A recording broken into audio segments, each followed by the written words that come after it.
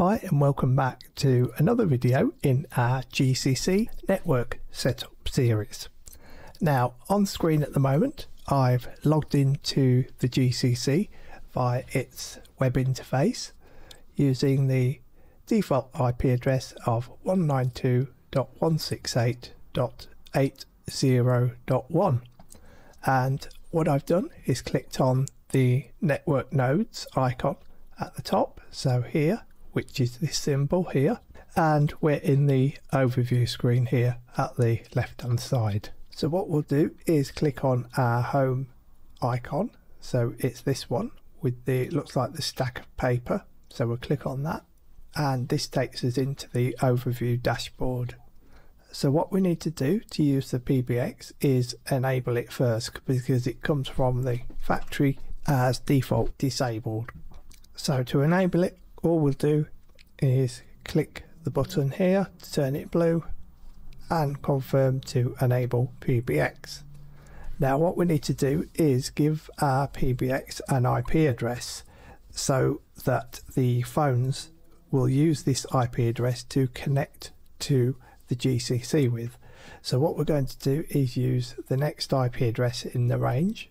So instead of 192.168.80.1 we'll use 80.2.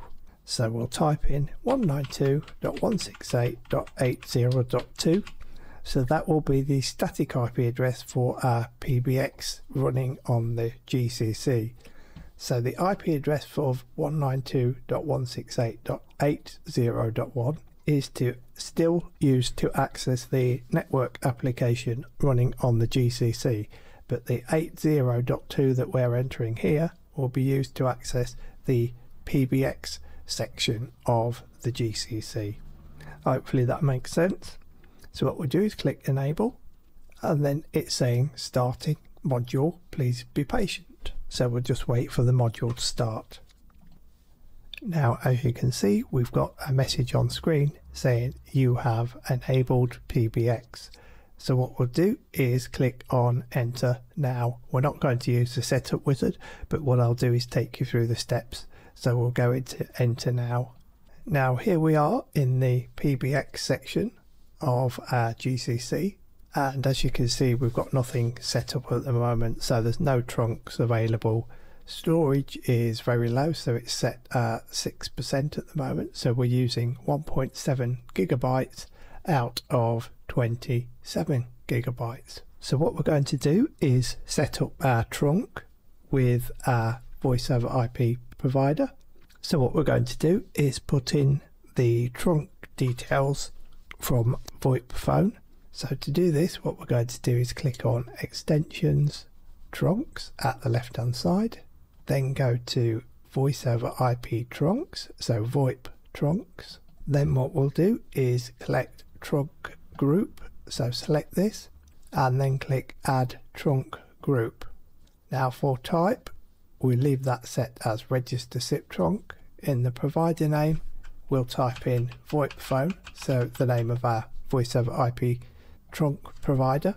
Then for host name, we'll type in their host name, which is sip.voipfone.net. Yours will be different depending on which provider you're using, so just check with your provider what the host name is. It could either be an IP address or it could be a named address like this, so sip.voipfone.net.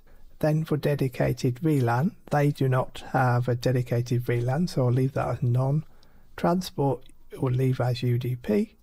So what we'll do is scroll down to trunk registration number and in the trunk registration number what we're doing is typing in our account number for our provider. So here I'll type this in which is provided in the account for Voipfone. So it's it's shown in the uh, account details on our provider's website. And then what we'll do is type in the password and then again the authorization ID is the same as the account number then what we need to do is go down and click save at the bottom. So now that you can see it's taken us back to the list of trunk groups. So here we have our provider. So what we'll do is just click on apply changes at the top here. this should then load all the information that we've just keyed in into the GCC. So now what we can do is go back to the dashboard and see if it's successfully connected to Voipfone. So what we'll do is click on system status at the left hand side and then click on the dashboard. And as you can see, it's got Voipfone here under trunks and we've got one available. So it's got a blue dot against it. And if we hover over the blue dot, you see it's saying registered.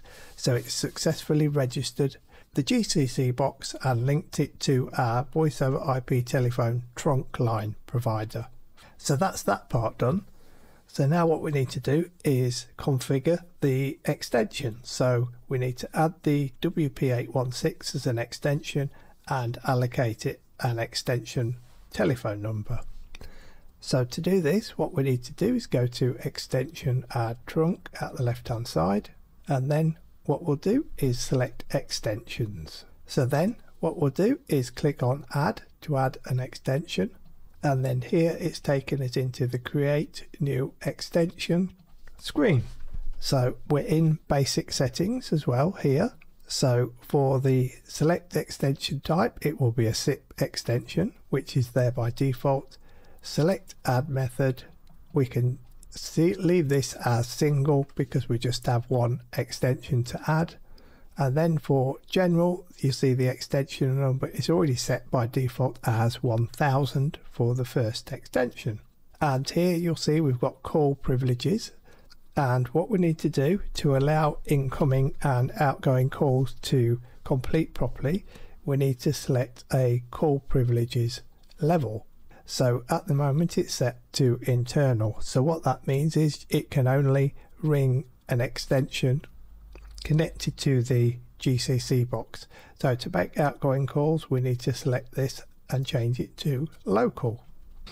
Now all we need to note down is the extension number so 1000 and then what we need to do is note down the SIP password here so that's been automatically generated because we'll need these two items to enter them into the WP816. So we'll enter them into account one. If you recall, we had two accounts on there, so it can have two accounts, but I'll show you that again to recap. So click save, and this will take us back to the list of extensions, as you can see, and we've got a status of unregistered. So what we'll do is open up a new browser tab and we'll type in the IP address of our WP816's web interface. So if you recall we entered that earlier so we're typing in that again and here it's taken us into the welcome to WP816. So what we need to do is put in the username which is admin and then the password that we created earlier. If you remember we changed it so we entered the default one on the telephone keypad and then we changed the password. So what we're doing is entering the password in there to what we changed it to and click login. Then this takes us into account status at the left hand side as you can see and we've got the screen up for account status. So what we need to do for account 1 is under operation click the pen symbol then for the account name we'll call this extension 1000 and for the SIP server we're entering 192.168.80.2 so if you recall when we enabled the PBX in the GCC we gave it an IP address. Now this is the IP address that you enter in for your extensions for the SIP server. So 192.168.80.2 and then scroll down to SIP user ID which is 1000 so that's the extension number and the SIP authentication ID again is 1000 and then for the SIP authentication password we will type in the password that we've just noted down in our list of extensions what we just created in the GCC so we'll enter the password in and then here we typed in the account name so extension 1000 SIP server 192 168.80.2. Now you also have to type in that same IP address for SIP server in the outbound proxy. So this is what I've just done and then click save and apply and here you'll see we've got account one and we've got a green symbol against it means it's connected to our GCC. So now that we've connected that we can log out of the WP816 so we'll click exit or log off at the top right corner here close that window and then back in our GCC box you will see that we've now got the extensions so we've got extension 1000 so it's a WP816 and it's showing a status idle and we've got a green dot against it mean it's successfully connected to our GCC box. So that's basically how easy it is to link your WP816 to the GCC or in fact any Grandstream telephone you would follow the similar procedure. So you go into the web control panel for your Grandstream telephone, set up the account in there and also link it to the GCC box by adding another extension account here in the list using the add button. So now what I've done is click back onto our PBX dashboard as you will see here. So the PBX at the top, so this icon and then I've selected dashboard. So now that we've set up and linked our extension, so our WP816 cordless Wi-Fi telephone to our GCC and we've also set up our voice over IP telephone provider's trunk line into our GCC. What we now need to do is for incoming calls we need to tell the GCC box where to route our incoming calls to. So as we've only got one extension, we want to tell the GCC box to route all incoming calls to the WP816, so extension 1000. So to do this, what we need to do is click on extensions and trunk at the left hand side and then select inbound routes. Then from the inbound route screen, we need to click on add and then for trunks you'll see we've got trunk group Voipfone in there by default because Voipfone is the only one we have and for pattern we need to enter an underscore and then an exclamation mark. So this means that any number pattern will get directed. So then for the inbound route name we'll call it inbound underscore from underscore Voipfone. Then what we'll do is scroll down to default mode. And for default destination click in the box and select extension. And as you'll see we've got extension 1000 automatically in there which means that it will now route all incoming calls to extension 1000 so what we'll do is click save and then at the top click apply changes. Now what I'm going to do is just dial the Voipfone telephone number and then our WP816 cordless telephone should ring. So I'm just dialing the number on another telephone that I have. And as you can hear, the WP816 did actually ring for the call. So now what we need to do is set up our outbound routes. So to do this, we'll click outbound routes and then for the outbound route screen, click add. And then for the outbound rule, we'll call this all underscore outgoing underscore calls. And for the pattern, we need to enter 11 X characters. So any UK telephone number has 11 digits. So what we need to do is enter 11 X's and then for the main trunk. For the trunk, click in the box and select trunk group Voipfone. And then what we need to do is for privilege level, we need to set this to local. However, this means that any calls, not just local calls, will be accepted and go out through Voipfone. So we'll click save at the bottom and then click apply changes.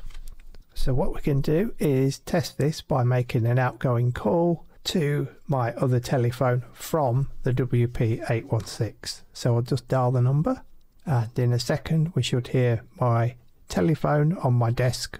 It should ring. And here we go from our GCC via our WP816 mobile telephone. So that completes setting up of the basic functions for our PBX in our GCC and also our WP816 cordless Wi-Fi telephone. So I hope you found this video useful. Hope it's not too complicated for you and I hope I've made it sort of easy to follow. We'll do some more videos so we'll go in depth into more functions because there's an awful lot of functions in the PBX and the GCC box in the networking applications. So for example in the network nodes there's a lot more information. Firewall is very comprehensive, has so many features. It's got SSL proxy, intrusion prevention, anti malware, content control so you can filter it by application. It's got IDS, IPS packet inspection. So we'll go into all that in future videos. But for this video, I think we'll end it now rather than make it too long. Hopefully it's not been too long for you. Anyway, thanks for watching this video and look out for more videos coming soon. Take care. Bye for now.